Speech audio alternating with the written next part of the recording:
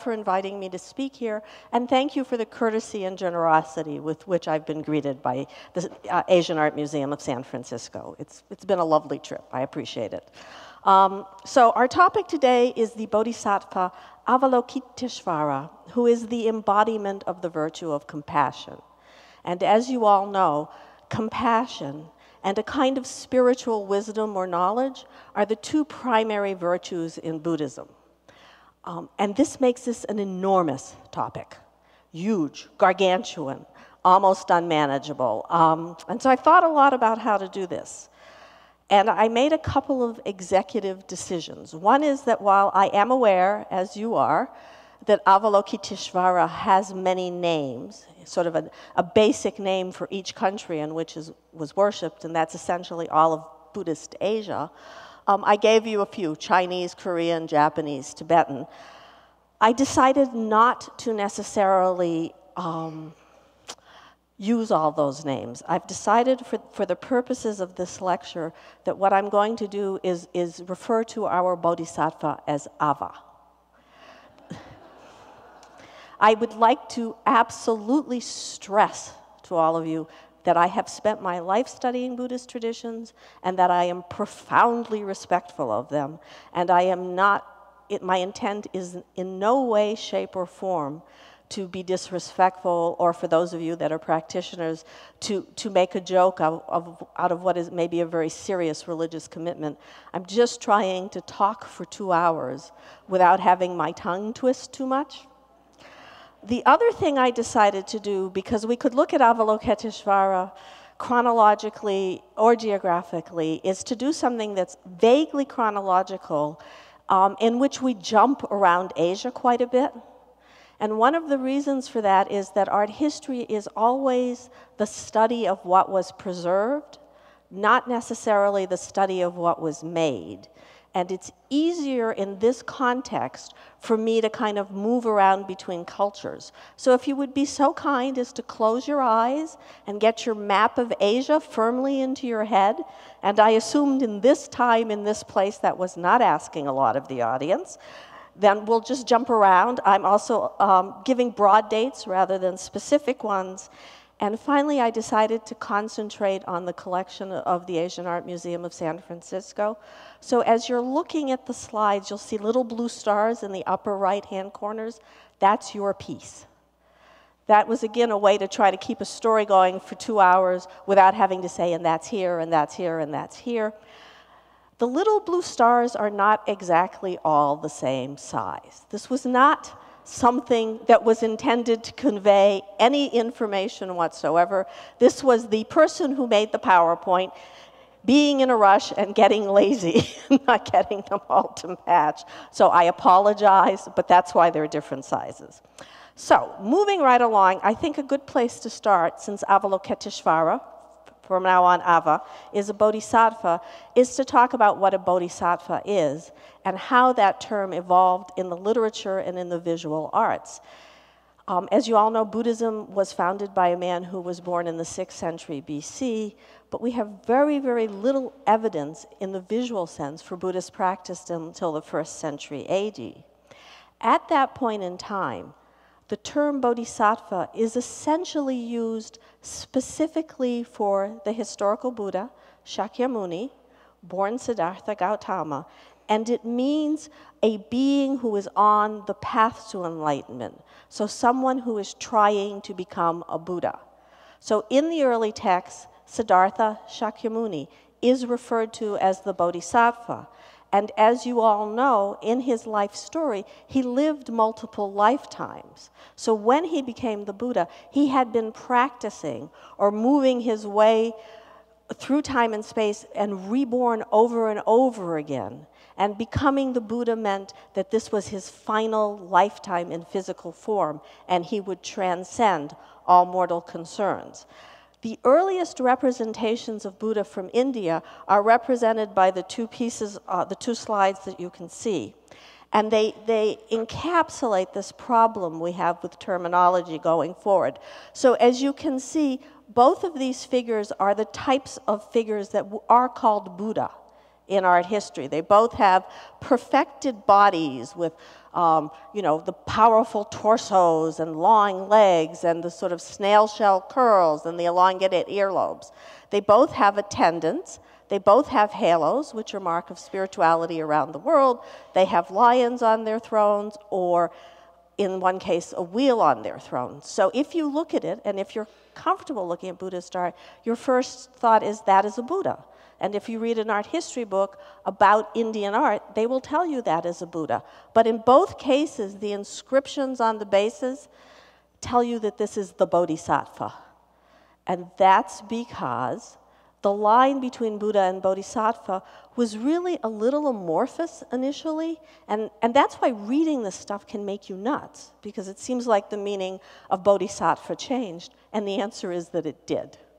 But initially, it really is a reference to the historical Buddha Shakyamuni. And these early references, which are centuries after the life of the historical Buddha, these early ones are basically found, oh, hmm, there we go. Uh, in one area in India, which is called Mathura, and was one of the great early uh, periods for sculpture. And then, sort of a couple of centuries later, like third to fourth century, you have a major flourishing of Buddhist practice in art in a place called Gandhara, um, which is all, as you all probably know, was actually the, it's the name of an area in Pakistan. It's the Roman name for a specific area in Pakistan, and it's in the Gandharan material that we start to find. See, these are yours, little stars. Stars don't match. Got it? I just couldn't do it. I didn't have the patience that night. Um, so the, you, we start to find a very clear distinction visually between a being that is a Buddha and a being that is a bodhisattva. Um, both of them are wearing Indic clothing. So essentially, what they've got is a sarong like garment and then a large shawl around the shoulders. In the case of the Buddha, the shawl covers both shoulders. In the case of the bodhisattva, it's very erratically worn. Um, there are both have halos, so both are sacred. There are differences in the hairstyles. This is a very Hellenized hairstyle, which is hiding one of the symbols or marks of a Buddha, which is this cranial protuberance called an ushnisha at the top of the head. Um, this is a sort of lay hairstyle, very elaborate chignon or tiffan. Um, the big difference between the Buddhas and the Bodhisattvas is that the Bodhisattvas wear jewelry right? So the bodhisattva is understood to still be part of the phenomenal world. The Buddha, who is now taken the guise of an Indian monk, is understood to have transcended mortal concerns. And this is an area where there's a lot of argument because the issue is whether or not the bodhisattvas are generic or if they're a specific being. And by this point in time, you've still got the historical Buddha, a historical figure, but you've got other bodhisattvas that are more celestial in being. Most, um, many scholars would argue because this bodhisattva is holding a flask, this is Maitreya, which I forgot to give you on your list, so it's M A I T R E Y A. And Maitreya is a very interesting figure in Buddhism. He's a bodhisattva right now. He is someone who is working his way towards enlightenment in a future lifetime. After the world destroys itself, I'm not making a political statement. I can't say this with a straight face anymore. After the world destroys itself, it will be recreated. We will need another teaching Buddha. We will need someone to bring the religion back to us, and that is Maitreya. So, like Siddhartha, he's a bodhisattva in prior lifetimes, which happens to be now also for him, and in the future, he will be a Buddha. Somewhere along the line, the notion of bodhisattva changed. And while it's still, any practitioner is still trying to become a Buddha, as Buddhism evolved and became more and more complicated, the notion that there were these celestial savior guide beings out in the cosmos to whom one could offer devotion and who could guide and help one to achieve enlightenment. The goal is always to become a Buddha. Evolved, and you started getting celestial Buddhas. And that is when our friend Ava becomes a major figure in Buddhist thought. So you're still looking at a bodhisattva, still wearing Indian clothing, still has a halo, still has jewelry, uh, may or may not be holding a lotus here. There's a lot of argument about what that is. And distinguished from the other bodhisattvas by the fact that there's a little Buddha in his headdress. And that Buddha is a specific celestial Buddha. His name in Sanskrit is Amitabha. So Shakyamuni is a historical figure who's become a Buddha. Amitabha's a celestial or transcendent Buddha who's there to, uh, as a form of devotion. And the reason that Ava has the Buddha in his headdress is because as Buddhism becomes more and more complicated, and it does, Buddha's, there, there's a notion that there are families, and Amitabha is the head of Ava's spiritual lineage. So that's what he's doing there. There's a lot of, this is actually a fairly good sized sculpture. I think it's like four feet tall. It's a rare image to find in Gandharan art. And there is a lot of controversy about whether this was an independent icon. So this was a deity that was the focus of worship, or whether the few sculptures that we find from Gandhara that have the Amitabha Buddha in their headdress are, were once initially part of triads. So you would have a Buddha in the center and then two bodhisattvas attending them. As I told you before, art history is what was found, not what was made. Um, but it's kind of pretty clear that at least the notion of Avalokiteshvara and Ava with a headdress, a Buddha in his headdress, was very much around by the third or the fourth century. As we move from the fourth to the fifth and the sixth century, we really begin to see the flourishing of the cult of this bodhisattva. And I'm showing you now one of the most famous cave temple sites in India, one I suspect many of you have visited. It's called Ajanta. Just to remind you, those of you that may not think about this all day long every day, like me, um, this, is, this is what's called a cave temple. So it's a man made structure that has been built into the side of a mountain. Cave temples are monastic complexes. In addition to the cave temples, most of them had some kind of wooden architecture, which has disappeared. In a cave temple, you will find cells for monks. You'll find you know, dormitories, dining areas, places for meditation, and a certain number of caves that were clearly devotional and have elaborate imagery in them. This particular cave at Ajanta, basically, as, as you walk into the cave, has a Buddha, primary Buddha, probably Shakyamuni, as a teaching figure, and as is true of cave temples generally, is embellished with both sculpture and painting. And the painting on our left hand side at the moment is probably one of the most famous depictions of Ava in early Indian art. It has been called the beautiful Bodhisattva. Um, it dates to the late 5th century, and as you can see, the bejeweled and um, beautifully dressed bodhisattva is larger than all of the other figures, but he's clearly in some kind of a world that includes actual figures and this sort of music making half man, half bird thing up here. So it's kind of somewhere between the, the celestial and the mundane world. It's, he's kind of in this interstitial space. Um, people argue about whether this is our friend Ava or not because there's no Amitabha in the headdress, but he is holding a lotus. And one of the names for Ava, throughout Asia is the lotus holder. And this is a reference to the notion that even something as simple as the gesture of offering a lotus to another human being can help spur enlightenment Indian scholars, because there's no Amitabha, are less comfortable saying specifically that this is an Ava. Sometimes they want to call it a lotus bearer or a Padmapani. I think, now we're going to change cultures, that in fact the Chinese evidence makes it absolutely clear that this was intended as an Ava. And that's because in China, in the sort of 470s, you find a lot of small devotional figures such as this where you've got a bodhisattva, Chinese bodhisattva, wearing Indi Indic clothing and Indic jewelry, holding a lotus, standing before a halo, surrounded by flames. And because China is one of the world's great history writing cultures, this particular piece has an inscription on it telling you who the donor was, giving you a date, and then saying specifically that it's Ava. So if the notion was that well developed that it's flo floating around in China in the late 5th century, I would argue that we're comfortable with our Ajanta Bodhisattva also being a representation of Ava. And in China at this time, you find this repeatedly. So this is my bad picture of the caves at Bingling Si.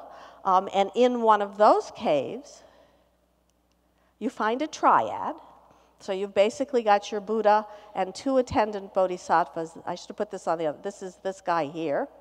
He's clearly holding a tiny lotus. And there's an inscription here again, also saying that this lotus bearing bodhisattva is Ava. So I think we can say that by the late fifth century, the cult of Ava as a um, independent deity has really evolved and is, was well known. And when you look at China, throughout the sixth century, it becomes clearer and clearer that Ava is the, the um, center of a major cult, that he's an extremely important figure, and that he is independent deity who's the focus of worship. So you find excavated altar pieces or excavated pieces, again inscribed, again telling you that this is absolutely Ava. In this case, Ava is the primary icon in this altar piece. He's attended by four other bodhisattvas, two of whom are holding lotuses, just in case we're getting confused. There are four monks, guardian figures, and music making angels surrounding it. And so you have a very clear visual interpretation of devotion to this figure and the understanding that within the evolving and vast Buddhist pantheon, he is a significant devotional figure um, China is also in China. You also find at this time the development of large scale figures of, that I would uh, argue are also this bodhisattva. So this, this is a very well-known site in Shanxi province, and this is a Japanese archival photograph from the 1930s. You can see the powerful standing bodhisattva on the cliffside. Um, I was there 10 years ago. This is what it looks like now right? So it's, it's, had, a, it's had a tough life. Um, but you can see that there, was, that, that there was some kind of major imagery going on here with a bodhisattva as the central deity and lots of attendant Buddhas. And although this is an obscure site and very hard to reach, so there's, not a, there's nothing really left, back down here you can see remnants of what were probably stone and wood buildings. So it was a major monastery at this time. But we find in Western collections a large number of these very, very 10 foot tall, powerful depictions of Ava. This one happens to be at the Met, which means Denise has spent a lot of time looking at it. Um, and I would argue that these are Ava too. And my reason for that is pretty complicated. So basically, you've got a bodhisattva, in this case, not necessarily with an Amitabha in the headdress, but wearing what starts to be a major um, attribute to bodhisattvas in China at this point in time, which is truly a harness of jewels. It's not a necklace. A necklace is like what I'm wearing, right? It would just be up here. It's, it, it ties at the back, it very clearly ties at the back, and it goes all the way down the body. This is something that starts being shown in East Asian Buddhas, Buddhism at this point in time for bodhisattvas. And if you want to, you can deconstruct the elements in this harness of jewels and discover that some are Chinese or some are Central Asian in their sources. But you have large numbers of these big, fantastic, bejeweled bodhisattvas. We also have evidence that in the northern Qi, my still my, one of my favorite periods, um, there was among the ruling elite at the time a great deal of devotion to Ava. The Northern Qi commissioned specific Buddhist texts known as sutras worshiping Ava. There was a great deal of interest in the Lotus Sutra, which has a chapter dedicated to our friend Ava. And one of the stories in the Lotus Sutra is that of how another bodhisattva, Akshayamati, if you want to know, was so impressed by the depth of Ava's compassion for the entire human race that he offered Ava this elaborate, beautiful necklace to thank him for his compassion for the world. And I have suggested, and not everyone agrees with me, that that's why this kind of jewelry starts showing up. And that's why I think we can argue that initially, when you see this harness of jewels, you are looking at Ava and not another bodhisattva, and Ava specifically as a primary devotional deity. So, this is um, a piece from Boston, and you all know where this one's from now, right? Right, and you can see that we've got the elaborate jewelry in both cases. Um, the one in Boston has both the Amitabha in the headdress and the lotus, and is holding what might be a piece of cloth.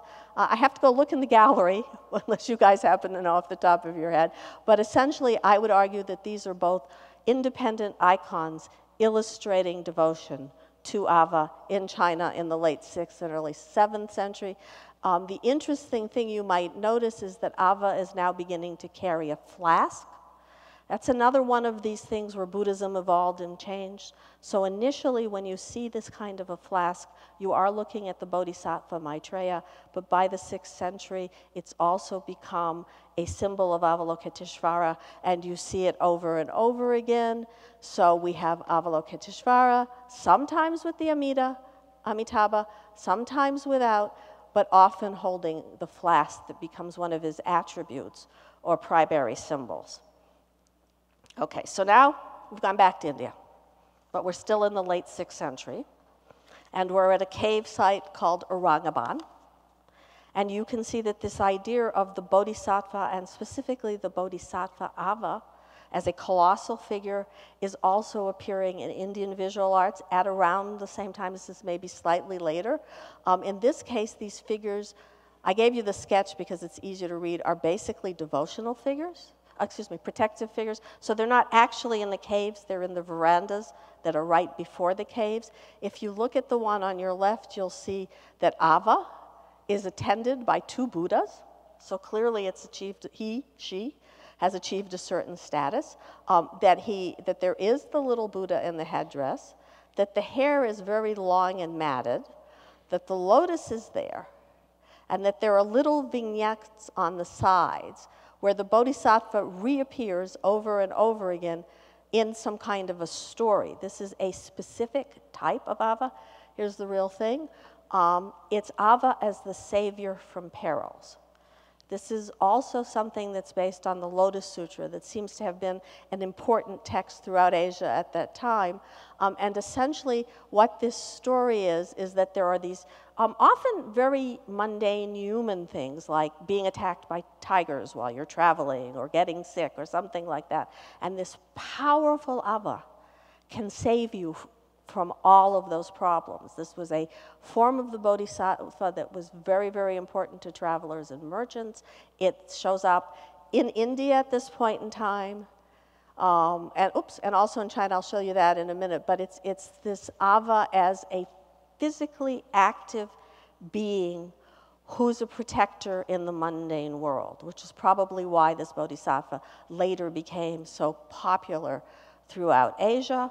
Um, the other, oops, I have, sorry. The other thing you need to know is that this is, this is matted hair, right? So this is basically a reference to ascetic practices, which seem to have been coming into Buddhism again at this point in time. So it's not well coiffed hair. Matted hair in this context is always a little, it's a visual notion, so it's, it's hard for some of us to read. And again, there's virtually no jewelry, right? So this is a powerful practitioner not necessarily just someone who's, who's hanging around in the cosmos to help all of us. Um, and you see this kind of switch towards a more practice oriented representation of Ava throughout Asia, very much from the 7th through the 10th century, but it's best recorded in Southeast Asia. And things get kind of complicated with the whole idea of bodhisattva and Buddha and jewelry, because at this point in time, Buddhas also start wearing crowns and jewelry. So this is, this is a really fascinating piece in, the, uh, in Lakmaya, actually, which is sort of a typical bodhisattva identified as an Ava because of the flask. And I don't know if you can see it from the audience, but can you see that there's actually an antelope skin over his shoulder? So that's a reference to the fact that this is someone who's out in the wilderness practicing and sort of wearing nice clothing, but also dressed in animal skins. In Southeast Asia, um, and this is from Thailand, this also becomes a very, very important representation of the Bodhisattva Avalokiteshvara. So you can see that not only, so this is again messy, matted hair. This is someone who isn't combing his hair, and very little clothing or jewelry, just a tiny little short sarong that's, if you look very closely at it, and you can because this is yours, really tied with rope. So it's not even a belt, it's rope. The other thing that you'll see is all of a sudden our bodhisattva has four arms. Very, very simply put, this is just another way of showing you the great powers, right? As a working mother, I can tell you that four arms would have been better than two. It's really, it's not a tough one. It's really just that basic. People sometimes go, oh, but why, why, why? And I'm like, power. It's about power. Um, so, okay. And this, this particular type of Avalokiteshvara really continues in the South and Southeast Asian tradition for centuries. It's, um, you can find both. You often find four arms, you often find six arms. By the time we're looking at the 6th to the 8th century, uh, so no, I should say 8th to 10th century, which is on your left, and slightly 12th, 13, which is on your right, the Amitabha in the headdress is pretty well established. You see it throughout Asia. And you also see this kind of interplay between this compassionate figure and the idea of power and compassion. So all of a sudden you start seeing lots and lots of arms. Four is common, two, six. As we get further into this lecture, you'll see more and more arms. In some cases, you're looking at clothing which seems to at least allude to a sort of very austere aesthetic practice. There is no jewelry, so there isn't always jewelry on bodhisattvas, and in some cases, there is jewelry and very elaborate belts. So the Khmer piece on your right has uh, a crown, it has a necklace, it has armlets, it has bracelets, it's wearing the sarong, but there's clearly an elaborate belt, and it's got anklets. It's a very, very elaborately dressed, powerful, almost probably semi royal figure that's also still compassion and power, which is what we're going to see all the way through. And in fact, the same kind of changes in Buddhism, and, and these weren't like you know, today is today Ava only has two arms, tomorrow it has four, right? These were very, very gradual changes in a religion which by this point in time was being practiced throughout the world. So everyone knew about it. Um, and it was constantly evolving, both internally by um, sort of responses to practitioners and what people needed, and also externally as different cultures, the Indic and the Sinitic, the Chinese, and the Japanese, all began to sort of deal with this within their own regional spheres. So one of the things that starts happening with Avalokiteshvara is that he starts taking on multiple manifestations or avatars, since that's become part of our culture. And, and it's important to realize that these are both different forms of a specific deity and still the core deity itself. So it's not like there, multi, there are 33 types of Ava. There's Ava with 33 manifestations, and these manifestations are almost always making the Bodhisattva both more powerful and in some ways more accessible. And on your worksheet, I've given you mostly the, almost, on, I have given you only the English language readings for these terms. Let me say before we get into this that in fact, of course, there are Sanskrit words, there are Chinese words, there are Japanese words, there are Tibetan words, there are Thai words. Um, it, you, could, you can find them all online if you really want them. Um, you can drive yourself and any audience you have crazy. You can certainly drive people in a gallery talk mad by trying to say all these names, which is why, again, I've decided to say Ava. One of the first ones to appear also starts off in the cave temples at, in India, and this one is Kanheri, and it's the 11 headed manifestation of Avalokiteshvara. So, again, by this point, you're all easily spotting the lotuses, right? No problem? Um, and clearly 11 heads. In this case, it's, a, it's an attendant bodhisattva. So it's both an independent deity in its own right and a bodhisattva that is part of a triad with a Buddha. And this particular manifestation, out of all of the ones that we'll be discussing in this lecture, um, is pro was probably the most prominent. So I've got you now at Dunhuang, and I know several of you have been there. That's probably the most famous cave temple site in the world. It's in northwest China in Gansu, and you can see that we're looking at a manifestation of the 11 headed bodhisattva. This is a rare painting from the 10th century where you don't find so many paintings in Asia. Clearly got the 11 heads. If you look very closely, although they're in this case six arms, he is holding a lotus. Um, but what's kind of fascinating is this, this particular depiction of Avalokiteshvara with a, a monk who may have been responsible for the sort of iconography of the painting and the donor being shown as well is also the savior from perils. So that iconography that we saw in the Aurangabad caves where you had the tall colossal bodhisattva and the little vignettes all along the sides has been incorporated. They've now made the 11 headed also the savior from perils. We're going to see a lot of this as we go through this talk. It happens over and over again. Um, if you get too hung up about putting each manifestation in its proper box, you will be mad by the end of this talk. So, so just assume that, that this is the, the, the embodiment of compassion in our world and it will take multiple forms to help and guide all of us, depending on what we think it needs.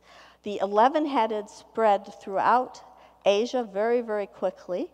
So, this is a Chinese example, and this is a Japanese one. In this case, they're holding the flask again and the lotus, which is very, very hard to see, but it is there, um, and would have probably been there initially, although it seems to have disappeared. You've got the Amitabha in the headdress very clearly in this one, and then 11 heads. This one is a little harder to read. Um, both are major forms of this bodhisattva. This was the first sort of complicated manifestation that spread throughout Asia. Um, and I wanted to, I'm going to do the break a little early. Sorry, I didn't plan this properly. The, um, one of my favorites is actually in Korea, and as Jennifer mentioned, I got very interested in the Shilla Kingdom at one point in my career. So, cave temples, which we've been looking at for evidence all the way through this talk, are found in India, they're found in Central Asia, and they're found in China. They do not occur in either Korea or Japan. This may just be a geographic thing. It may just have to do with whether or not you've got a certain type of stone that you can build. This, in Korea, in the 8th century, in the Shilla kingdom, they actually made a fake cave temple. So this is called the Seokguram. And when you visit it today, there's this sort of visitor center you enter. The actual site itself is sort of a mound, it's, it's a sort of domed stone chamber, which is back here and which has been covered with earth.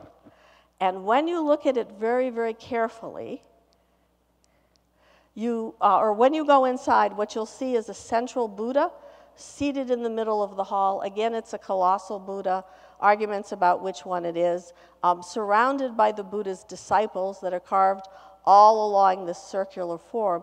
And then right behind this Buddha is our good friend, the 11 headed version of the Bodhisattva Ava, attesting to its importance in the 8th century.